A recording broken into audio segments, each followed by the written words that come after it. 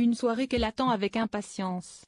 Le samedi 16 décembre, en direct du Zénith de Dijon, Sandra Gir va tenter de convaincre les membres du jury pour décrocher la couronne de Miss France 2024. Je vais donner le meilleur de moi-même pour pouvoir aller le plus loin possible dans cette aventure de Miss, déclarait la Miss Côte d'Azur dans les colonnes de Nice Matin quelques minutes après son sacre régional, le 30 juillet dernier. Et dans cette aventure, la jeune femme de 19 ans va pouvoir compter sur le soutien sans faille de son compagnon. Celle qui est actuellement en formation dans une agence immobilière file le parfait amour avec Dorian Bocolaxi. Un nom qui est plus que familier pour les passionnés de circuit. Depuis 2014, ce canois multiplie les compétitions automobiles. Après avoir commencé sa carrière dans le karting, le jeune homme de 25 ans s'est lancé le championnat de France de Formule 4. Après seulement une manche, le Français s'est rapidement hissé dans le top 3 du classement général.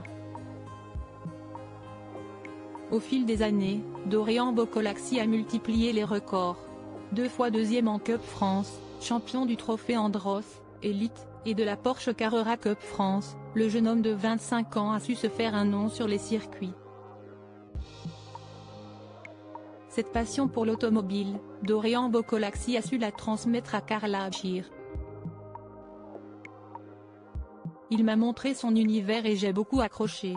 Mon père et mon frère sont aussi dans ce milieu car ils sont carrossiers.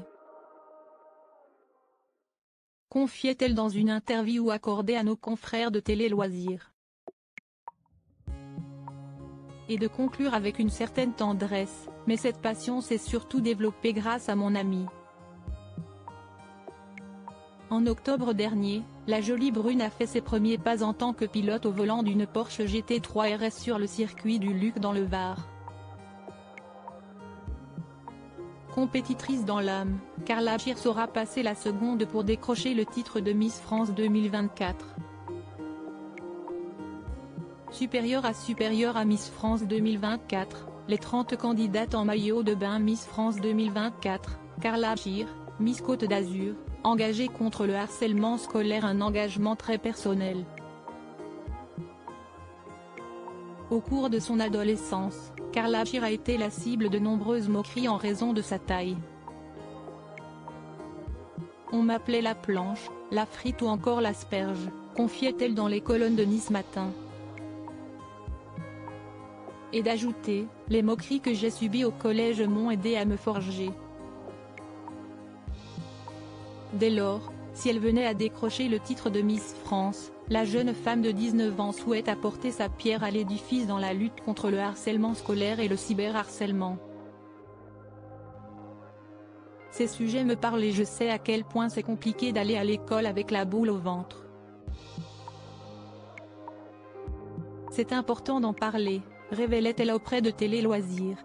Et de poursuivre, j'aimerais pouvoir prévenir les jeunes sur les dangers du harcèlement scolaire et faire tout mon possible pour ne pas que ça s'aggrave. Le harcèlement, c'est crescendo, ça commence par des moqueries, puis des insultes et ça peut en venir aux mains. Un discours poignant qu'elle ne manquera pas de défendre le soir de l'élection de Miss France 2024. Crédit photo, Bertrand Noël Sipa TF1.